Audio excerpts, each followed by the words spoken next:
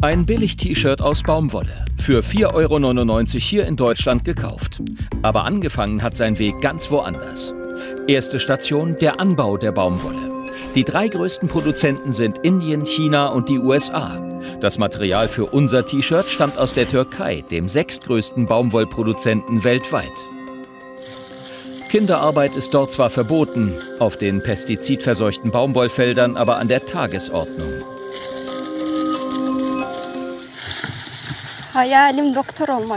Mein Traum war es, Ärztin zu werden. Das hatte ich mir sehr gewünscht, zur Schule gehen zu dürfen. Aber ich bin sehr traurig darüber, dass sich dieser Traum für mich nicht verwirklicht hat. Beim Anbau von Baumwolle werden reichlich Pflanzenschutzmittel gespritzt. 16 Prozent aller weltweit eingesetzten Insektizide landen auf solchen Feldern. Auch der Wasserverbrauch ist enorm. Für die Produktion des 250 Gramm schweren T-Shirts wurden rund 2300 Liter Wasser benötigt. Und das hat Folgen für die Umwelt. Bekanntes Beispiel ist der Aralsee. Einst einer der größten Seen der Erde hat er in den letzten Jahrzehnten über 90 Prozent seiner Größe verloren. Wegen der Baumwollindustrie. Von der Türkei wird die Baumwolle nach Südindien transportiert. Hier wird das Garn für unser T-Shirt gesponnen und daraus der Stoff gewebt. Die Verhältnisse vor Ort sind moderne Sklaverei.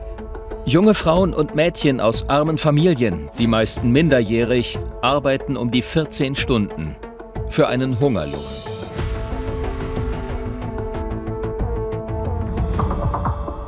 Die Reise geht weiter, nach China. Dort wird der Stoff gebleicht oder gefärbt. Die eingesetzten Chemikalien werden oft ungeklärt in die Flüsse geleitet. Bis hierhin haben Anbau und Produktion unseres T-Shirts etwa 230 Gramm Chemikalien verbraucht. Die nächste Station, das Nähen. Das passiert in Bangladesch. Die furchtbaren Arbeitsbedingungen dort kamen 2013 ans Licht. Die mehrstöckige Nähfabrik Rana Plaza brach zusammen. Über 1100 Menschen starben.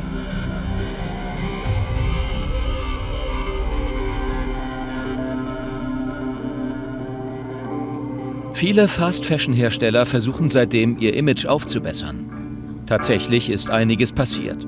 So sind die Gebäude sicherer geworden. Aber trotz aller Bemühungen, immer noch werden Arbeiterinnen ausgebeutet.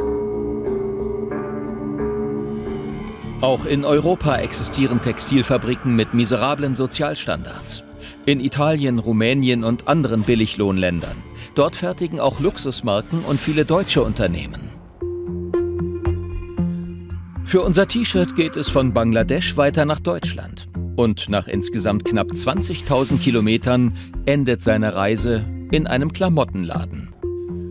Zu einem Endpreis von 4,99 Euro.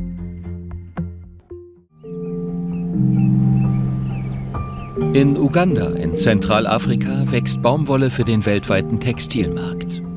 Tausende Kleinbauern leben hier von der Baumwollernte. Doch oft ist das Geld knapp. Zu niedrig sind die Baumwollpreise auf dem Weltmarkt.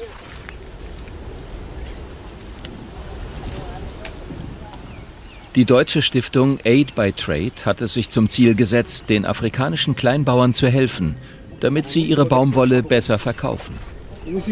Im Dorf Kinyamaseke treffen sich die Bauern mit ihren Familien zu einer gemeinsamen Schulung, die zur Hälfte von der lokalen Baumwollfabrik finanziert wird.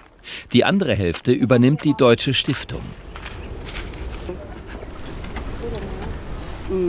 Die Bauern lernen, statt teure chemische Düngemittel mehr eigenen Kompost zu verwenden und nicht möglichst viele Samenkörner auf einmal auszusäen, sondern immer nur wenige in einem bestimmten Abstand, weil die Baumwollpflanzen dann besser wachsen. All das schont den Boden und vor allem den Geldbeutel.